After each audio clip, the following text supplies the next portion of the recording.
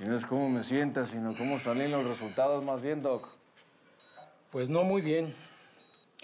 Todo el tequila, el chicharrón, el cabrito que te has metido, ahora te lo están cobrando. Tienes cuatro arterias tapadas y muy tapadas.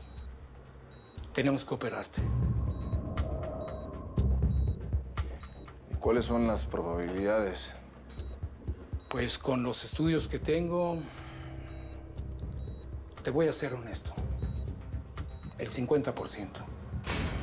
50% de que vivas y 50% de que te quedes en la operación.